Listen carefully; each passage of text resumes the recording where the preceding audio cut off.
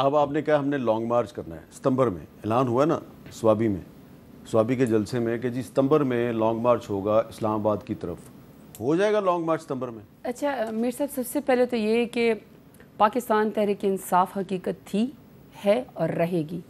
सबसे बड़ी पाकिस्तान की पॉलिटिकल पार्टी है और पाकिस्तान का सबसे बड़ा लीडर अल्हम्दुलिल्लाह इमरान खान है। आपने हर चीज़ करके देख ली, लेकिन आप हमें तोड़ भी नहीं सके। आप हमारी पार्टी को ख़त्म नहीं कर सके। आपने कहा कि हम आइनी बहरान चाहते हैं या इंतशार चाहते हैं। मुल्क में इंतशार और आइनी बहरान तो उसी दिन पैदा हो गया था, आठ फरवरी को, जब आपने आवाम के मैंडेट पर डाका मारा। जब आपने आवाम के मैंडेट को तस्लीम नहीं किया, आपने दो साल से मुल्क को यरगमाल बनाए रखा। आपने कहा ना कि वो कौन लोग हैं जो हाजी इम्तियाज़ साहब को उठा के ले गए, पुलिस इतने मासूम ना बने। इतने मासूम है नहीं। वो वही लोग हैं जिनके आप तर्जमान बन जाते हैं जिनके लिए आप प्रेस कॉन्फ्रेंस करते हैं और आप मुल्क पंजाब में जो गदर आप मचाते हैं फिर आप कहते हैं हमारे पीछे वही लोग खड़े आप उनकी शेल्टर लेते हैं। उन्होंने आपके लिए बंदगवा की है आर के दफ्तर हमें जाने नहीं दिया। आपको उनके शेल्टर हाजिर है और आप उनके तर्जमान है। तो लिहाजा ये मासूमियत नहीं चलेगी पूरी बात कर लेते पूरी बात कर लेते करप्शन डिपार्टमेंट पंजाब की बात कर रही हैं। जी ये इन्होंने इन्होंने उनको बड़े नाम दिए हैं ये शायद कोई और नाम उनका सोच लें। अच्छा अब जहाँ तक बात आ जाती है कि हम मुल्क में चाहते क्या हैं? हम मुल्क में ये चाहते हैं कि जिसका वोट हो ना, जिसके पास वोट बैंक हो। वही वो जो है वो कुर्सी के ऊपर बैठेगा वही हुक्मरानी करेगा नहीं है? वही हुक्मरानी ये ये नया डॉक्ट्रिन है कि 2018 में ये नहीं चाहिए था।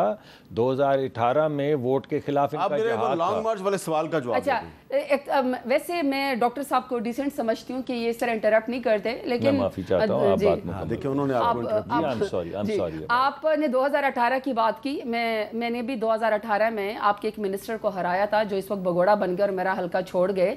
मैं आपको बता दूँ कि 2018 में हमारे सीटें कम करने के लिए सिस्टम को स्लो किया गया था क्योंकि सबसे ज़्यादा ट्राइब्यूनल में केसेस पाकिस्तान तो 2018 में आपके खिलाफ धांधली हुई थी। बिल्कुल हमारे तो इसका मतलब है 2018 का इलेक्शन कंट्रोवर्शियल था। देखें हमने तो पहले दिन वजी आज़म बन के कहा कि आप जितने हल्के कहेंगे हम वो खोल देंगे। और मीर साहब जब इलेक्शन हो जाता है ना उसका फैसला ट्राइब्यूनल करते हैं। 2018 में सबसे ज़्यादा ट्राइब्यूनल में केस पाकिस्तान तहरीक इंसाफ कहते हैं इनका एक भी केस नहीं था रिकॉर्ड अपनी पार्टी से मंगवा लें।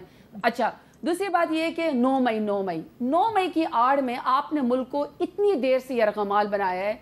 9 मई का आपका जो जितना भी बयान था ना, वो पिट चुका है। 8 फरवरी को आवाम आपकी बयानियों के खिलाफ वोट दे चुकी है। हालाँकि आपने हर हर बार देख लिया कि आप आवाम को फस्तायद के ज़रिए रोक दें या हमारी पार्टी का निशान ख़त्म कर दें या हमें आप यरगमाल कर दें, कैद कर लें। लेकिन आपसे कुछ नहीं बना।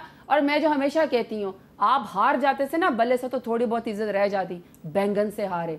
खजूर से हारे बेंच से हारे जूते से हारे चिमटे से हारे ये पीएमएलएन की टोटल कारकर्दगी है। अब आ जाते हैं कि जी मौजूदा हालात में आपने कहा आप करें जी लॉन्ग मार्च बिल्कुल करेंगे। अवाम की ताकत है हमारे पास।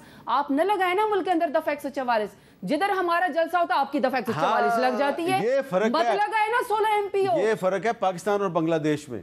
उधर 300 लोगों ने गोलियाँ खाई हैं जाने कुर्बान किए हैं तो हसीना वाजद भागी है। यहाँ पे दफ़ा 144 बीच में आ जाती है। नहीं नहीं मीर साहब इधर बहुत ज़्यादा इनकलाबी बैठे हुए हैं। अच्छा? कार की डिग्गे में चले जाते हैं बुरका पहन के चले जाते हैं बूट पॉलिश कर लेते हैं पहले से शेरवानियाँ सिलवा लेते हैं इधर कमाल है इधर सत्रह सीटों वाली जमात मुआवजा करके बैठ जाती है। और कमाल ये कि जब उनसे आप कहते हैं ना कि ये टी टी आपके ऊपर केस है या आपके उसमें अकाउंट में ये सोलह अरब कैसे आए इस कदर वो जो है मुआजाती वजी अजम है फॉर्म फोर्टी सेवन है, शहबाज शरीफ साहब, वो कहते हैं, कौन मेरे उसमें जो है ये सोलह अरब डाल गया मुझे नहीं पता, मेरे बेटे से पूछो। हमजा शहबाज से पूछने कहते हैं, मुझे क्या पता, किसी ने डाल दिया होगा? तो ये बड़े मुआजाती शख्सियात तो हो। रहा है आप शेख उसको हसीना को भूल जाएँगे। जो मुआजे करिश्मे पी एम एल एन करती है ना इकतदार की खातिर आप यकीन करें कि आप इसको पूरी फ़िल्म लिख सकते हैं अच्छा। पूरे चैप्टर लिख सकते हैं। और बाय एक चैप्टर ये भी लिखा जाएगा कि पंजाब पुलिस ने पी एम एल एन की इमारत के ऊपर जो हम पे पर्चे बनाए उन पर्चों की नीयत क्या थी। उसमें तो एक पूरा चैप्टर होगा ना वो तो वो तो एक कॉमिक बुक लिखी जाएगी ना। हाँ। ढंग के इल्ज़ाम भी इनको नहीं मिले पीटीआई के ऊपर। ढंग के इल्ज़ाम भी नहीं थे। इन्होंने गाय हवा की गाय चोर हैं ये। कार की डिग्गी में अपनी तरह समझ लिया था कि कार की डिग्गी में जैसे जाते हैं ना डील करके। बहुत बात हो रही है जी हसीना वाजिद शेख मुजीबर रहमान। और क्योंकि अब हसीना वाजिद साहबा की हुकूमत ख़त्म हो गई तो हर कोई उन पर तनकीद कर रहा है। लेकिन मैंने आपको याद दिलाना है कि बांग्लादेश की क्रिकेट टीम पाकिस्तान आ रही है। और इंडिया ने बहुत कोशिश की थी कि बांग्लादेश की टीम पाकिस्तान ना आए। अभी से इंडिया कोशिश नहीं कर रहा था। 2019-2020 से कोशिश कर रहा था। तो 2020 में भी हसीना वाजिद ने बांग्लादेश की क्रिकेट टीम को पाकिस्तान भेजा और अब फिर भेजा है। उनकी सीनियर टीम भी आ रही है, जूनियर टीम भी आ रही है। तो चली गई हैं हुकूमत से। और इसमें कोई शक नहीं है कि हिंदुस्तान की जो खुफिया एजेंसी है रॉ, उसके साथ उनका बहुत गहरा ताल्लुक था। लेकिन बांग्लादेश की क्रिकेट टीम को उन्होंने पाकिस्तान आने से नहीं रोका। तो ये एक एक ऐसी उनकी अच्छी चीज़ है जिसका उनके चले जाने के बाद मैंने ज़िक्र मुनासिब समझा, क्योंकि आजकल तो हर कोई उनकी ऐसी तैसी कर रहा है ना। लेकिन मैंने आपको याद दिलाना कि बांग्लादेश की क्रिकेट टीम जो पाकिस्तान आ रही है ये फैसला हसीना वाजद ही करके गई थी। अब आ, मेरा आपसे सवाल ये है डॉक्टर मुसद्दिक मलिक साहब ये पाकिस्तान की सियासत सुप्रीम कोर्ट में जाके फंस गई है। आज तरीके इंसाफ ने भी जो आपने सेनेट और कौमी असम्बली से जो कानून मंजूर करवाया उन्होंने भी उसको सुप्रीम कोर्ट में चैलेंज कर दिया और इलेक्शन कमीशन ने भी सुप्रीम कोर्ट के फैसले को चैलेंज कर दिया। तो मामला सुप्रीम कोर्ट में जाकर फंस गया आपका भी और इनका भी। ये कोई अच्छे अच्छा साइन है।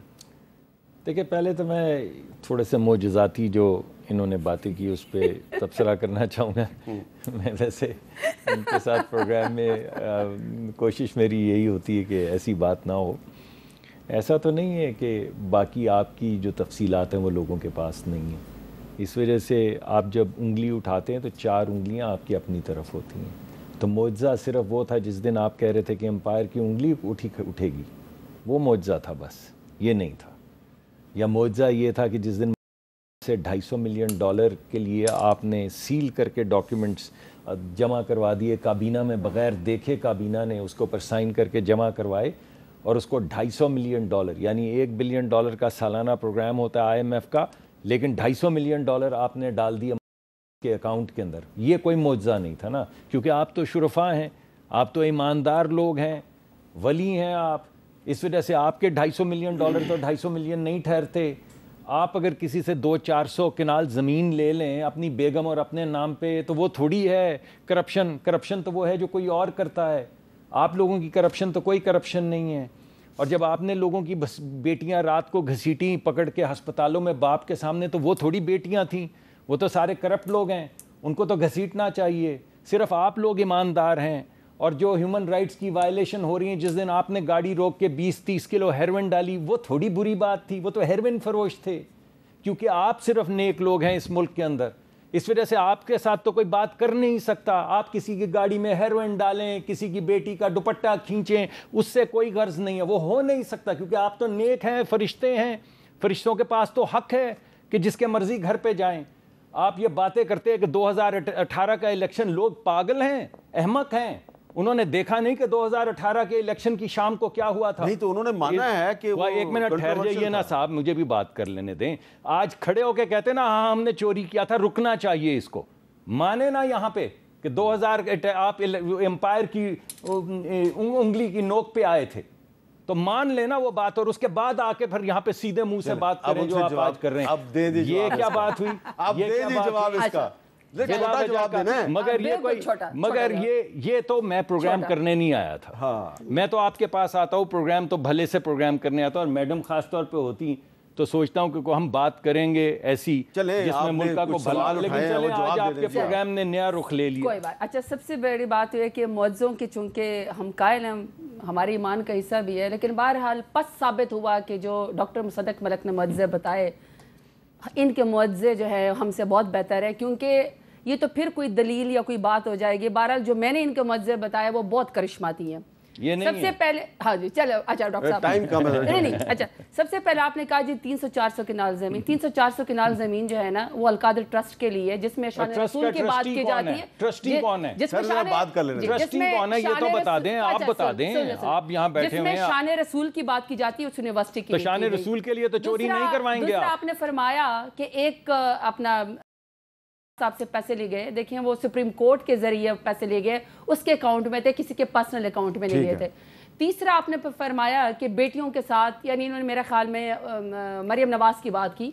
देखिए मैंने तो नहीं कहा था ना कि मेरी लंदन तो क्या पाकिस्तान में कोई प्रॉपर्टी नहीं तो और सारे मेफेयर के तो फ्लैट में निकले। देखिए घसीटना मुकर्रर हो गया ना। तरबियत करे बेहतर करे उसको चोर ना बनाए।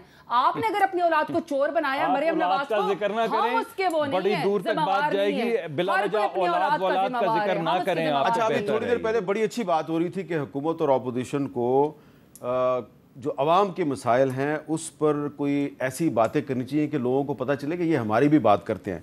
तो मेरा ख्याल है कि पहले आपने थोड़ी सी बात नहीं वो मैंने नाकाम हुआ ना। आज आपके आया तो मैं यही बात हाँ, करने तो- था लेकिन अल्लाह ने करम किया। तो ये तो डॉक्टर साहब तो खफा ही हो गए। तो आप तो भाई आपने जवाब दिया। उम्मीद है सवाल करते हैं। मैं तो मैं तो तैयार हूँ आपके लेकिन प्रोग्राम के लिए इस नियत हमारी कोशिश जारी रहेगी। मीर के प्रोग्राम में जब मैं आता हूँ तो इस नियत से नहीं आता कि यहाँ पे ये मुकाबला करने मुकाबला हम रोज यही चलो हैं। तो ठीक है। आपने करना है तो आ जाइए मैं कोशिश करूँगा। मैदान में और मैं कोशिश करूँगा कि अगले प्रोग्राम में आप अवाम के मसाइल पर आपस में बात करें और एक दूसरे के साथ पॉइंट स्कोरिंग ना करें। लेकिन ये जो भी आपने अभी किया है ये भी जमहूरियत का एक रुख है। कोई इतना अच्छा रुख नहीं है लेकिन बहरहाल ये- ये अच्छा भी आपने दुरुस्त कहा है कि इतना अच्छा रुख नहीं है। लेकिन नीयत आपकी और उनकी जो नीयत है उसमें लग रहा है कि आपको नहीं अच्छा कुछ नीयत आखिर में कुछ ठीक नहीं रही है। प्रोग्राम इजाज़त अच्छा ही रहता है। अल्लाह हाफिज।